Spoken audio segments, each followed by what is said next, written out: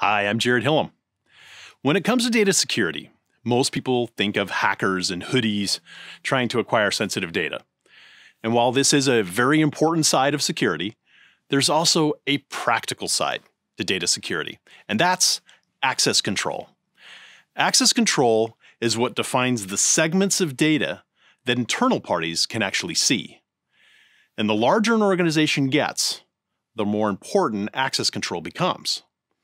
Now, this isn't just because some data is sensitive, like people's salaries, but because data might be completely irrelevant to certain organizational parties.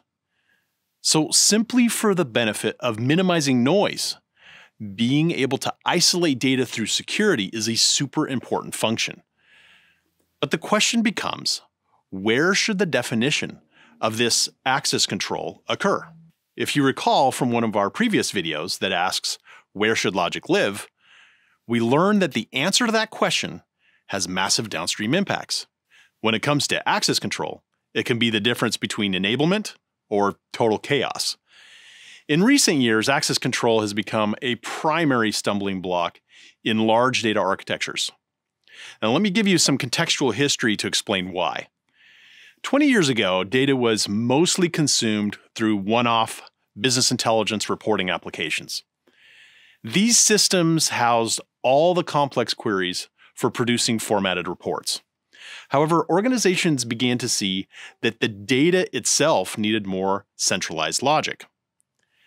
This was the time where wider adoption of data warehousing came into the picture. Access control still mostly lived in the business intelligence layer, even though the data had been somewhat centralized in a warehouse. In those early years, any consumption of the data outside of the data warehouse and BI layer was often considered as a rogue query. But this all began to change around 2015.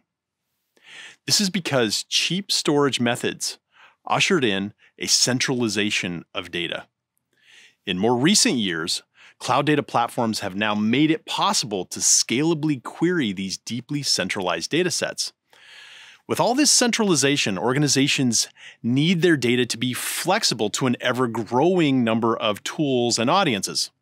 This means they can't just tightly couple all the access control into some reports and dashboards and then call it a day. Large organizations may end up having 10 business intelligence tools due to acquisitions and different end user needs. Additionally, they may have dozens of different audiences that interact with the data directly and not through some sanctioned analytics tool. So, having access control nested into the BI layer no longer is a proposition that can suit today's large modern data platforms. Instead, security needs to go back into the architecture as an aspect of the data itself. And this doesn't mean the data warehouse but rather even further back into the base data lake where all the core centralized data resides. This is the only way to ensure that any access to the data can be segmented and relevant to the audience consuming it. Additionally, this makes it possible for any business intelligence, analytics, data science, or reporting layer to plug into the environment and get consistent access based on credentials and do so no matter if they queried the data warehouse or the data lake. Another important reason for setting up these deep access controls is loose coupling. If you recall from our video titled, What is Tight Coupling?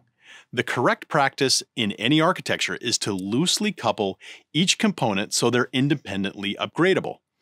By housing the security in the data architecture, the analytics tool becomes highly interchangeable without impacting the business.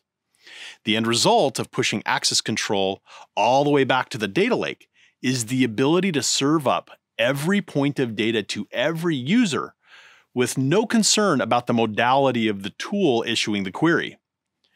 This ultimately is what business stakeholders expect from their data architecture in the first place. But Delivering on this is much easier said than done, but it is doable and worth it. The key here is active governance, auditability, and sustainable standards.